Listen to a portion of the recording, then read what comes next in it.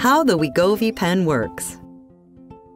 The Wegovy pen is a single-dose pre-filled pen. It is a pen injector with an integrated hidden needle and allows patients to administer a preset dose.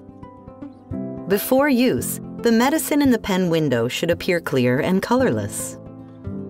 After you prepare for the injection, choose an injection site, such as the abdomen, thigh, or upper arm.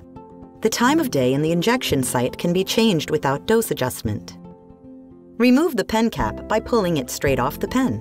The injection should take about 10 seconds, during which you will hear two clicks. Click 1 means the injection has started. Click 2 means the injection is ongoing. Make sure that when you hear the first click, you wait for the yellow bar to stop moving, which should take about 10 seconds. It may help to create a firm area to inject. Push the pen firmly against the skin until you hear the first click. When you hear the first click, hold down for 10 seconds. If you do not hear the first click and the yellow bar does not start moving, press the pen more firmly against the skin. When you hear the second click, keep holding down until the yellow bar stops moving and you've reached 10 seconds. The yellow bar will not fill the entire pen window. The window will look like this when the injection is complete. Do not remove the pen from the skin before the yellow bar in the pen window has stopped moving.